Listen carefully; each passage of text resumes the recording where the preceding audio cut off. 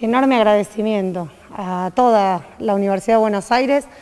Firmar hoy estos dos convenios, por un lado, para trabajar en conjunto, para hacer investigaciones, capacitaciones, para que también los alumnos de la UBA puedan hacer rotaciones en la empresa. Una buena sinergia, una de las mejores universidades del mundo, una de las mejores empresas en el área, en el rubro del mundo, estar trabajando en conjunto y por otro lado con la Facultad de Ciencias Económicas para que nos ayudara a hacer una auditoría, un balance de lo que va hasta ahora de nuestra gestión y una auditoría de corte respecto de la gestión anterior. Nos parece que lo más importante en este tipo de empresas además es la transparencia. Le agradecemos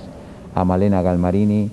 que confíe en la Universidad de Buenos Aires para asesorarlo en varios temas, en los temas técnicos relacionados con el manejo del agua, en los temas económicos y financieros, estamos poniendo a todos nuestros equipos para ver de qué manera podemos colaborar en todo lo que sea fortalecer a una empresa tan importante en este momento por el servicio que brinda para la salud de todas y todos los argentinos.